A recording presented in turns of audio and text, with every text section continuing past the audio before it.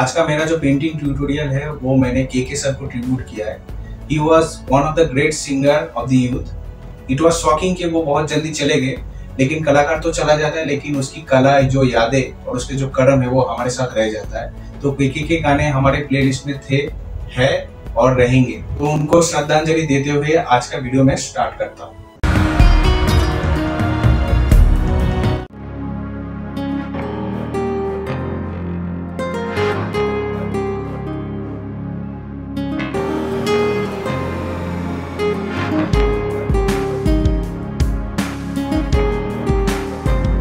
पहले चेक कर लेते हैं, इसमें लाइट कहाँ से आ रहा है। तो ये जो है, इसमें अभी यहाँ पे हाईलाइट गिर रहा है, इसके जस्ट पास में डार्क है।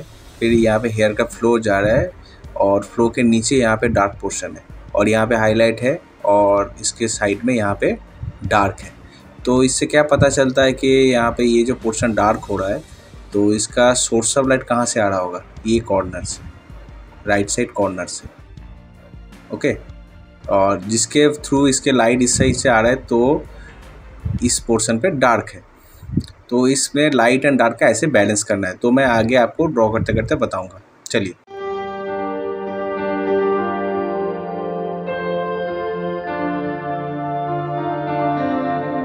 मैंने प्रूशियन ब्लू के साथ ब्रंट टम्बर मिक्स किया। सबसे पहले इसका जो बैकग्राउंड है, वो मैं करूँगा।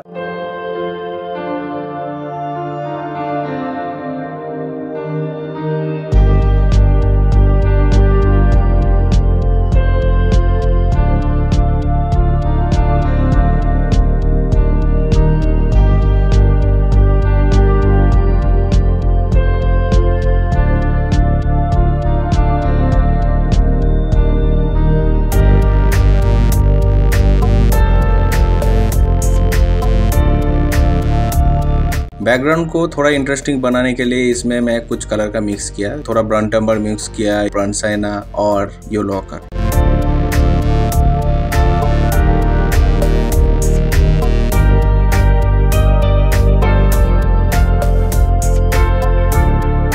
अब जैसे कि मैंने आपको इमेज में दिखाया था कि लेफ़्ट पोर्शन में डार्क पोर्शन ज़्यादा है तो ये पोर्शन को मैंने ब्लड इसीलिए वेट एंड वेट दिया इसीलिए क्योंकि ये पोर्शन डार्क है तो वो बैकग्राउंड के साथ थोड़ा मिक्स हो जाएगा क्योंकि डार्क में ऐसी क्लैरिटी कम हो जाती है हर चीज़ का।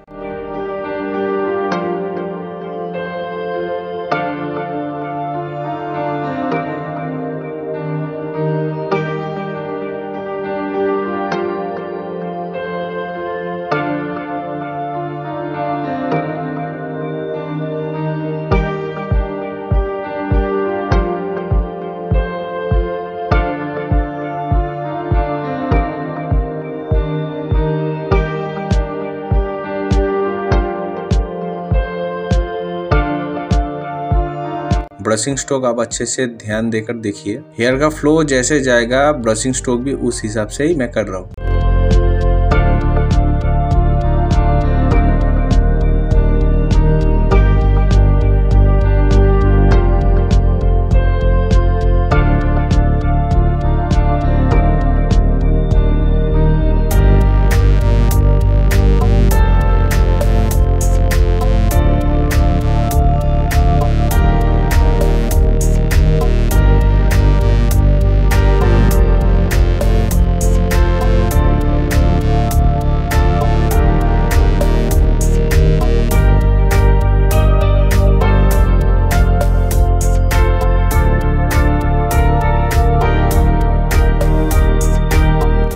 पोर्शन को मैंने ऐसे व्हाइट छोड़ दिया है और आगे आपको पता चलेगा कि किस लिए मैंने वो छोड़ा था। हेयर को थोड़ा इंटरेस्टिंग बनाने के लिए इसमें मैंने ब्रंट अम्बर एंड येलो आकर का मिक्स करके इसमें तो हाईलाइटेड पोर्शन है, क्योंकि वो पेपर व्हाइट ज़्यादा हाईलाइटेड ना दिखे, उसको दबाने के लिए मैं यूज़ किया।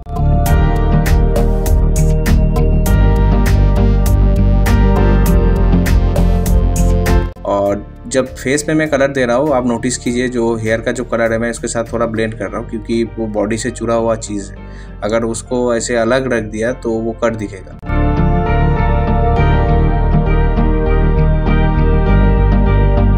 लाइट जिस हिसाब से आ रहा है तो इसमें जो फ़र्स्ट टोन है तो उस हिसाब से मैं करूँगा कि राइट साइड कॉर्नर के ऊपर से लाइट आ रहा है तो आँख के ऊपर का जो पोर्शन है तो उसमें थोड़ा लाइट कलर रहेगा। जो बाएँ तरफ़ की आँखें है तो वो पोर्शन में बहुत डार्क आएँगे। तो अभी मैं अचानक डार्क तो नहीं दे सकता क्योंकि डार्क दे दूँगा तो डायमेंशन नहीं आ पाएँगे। क्योंकि डार्क में भी डायमेंशन दिखता है।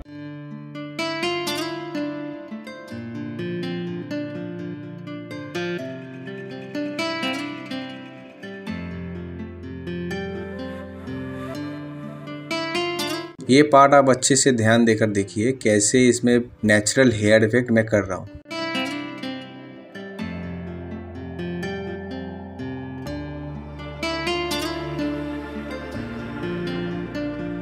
मैक्सिमम डार्क कलर का मैं इधर यूज़ कर रहा हूँ और जिस हिसाब से हेयर का फ्लो है, जहाँ पे हेयर थोड़ा बेंट हुआ है तो पोर्शन पे थोड़ा डार्क है। तो देखिए कैसे मैं कर रहा हूँ उसको और जो वाइट पोर्शन छोड़ दिया तो ड्राई ब्रश से मैं उसमें हेयर का इफ़ेक्ट दे रहा हूँ। और ड्राई ब्रश से आप देने से क्या होता है कि देखिए इसमें कैसे छोटे छोटे व्हाइट डॉट्स जैसे आ रहे हैं तो उसमें क्या एकदम नेचुरल जो साइनी इफ़ेक्ट होता है हेयर का, वो आ रहा है इसमें।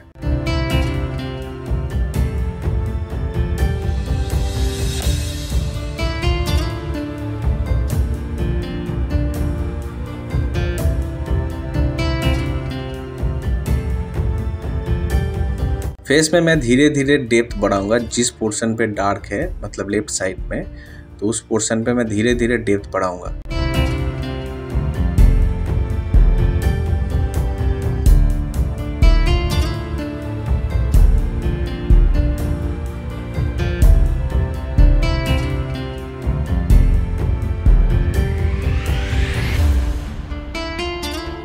फेस के ऊपर भी कुछ हेयर गिरे होंगे, लेकिन वो मैं अभी नहीं दूँगा, क्योंकि मुझे अभी फेस पे बहुत सारे टोन यूज़ करने हैं। अगर मैं उसमें दे दूँगा तो फिर वो उसके साथ ब्लेंड होके खराब हो जाएगा वहाँ।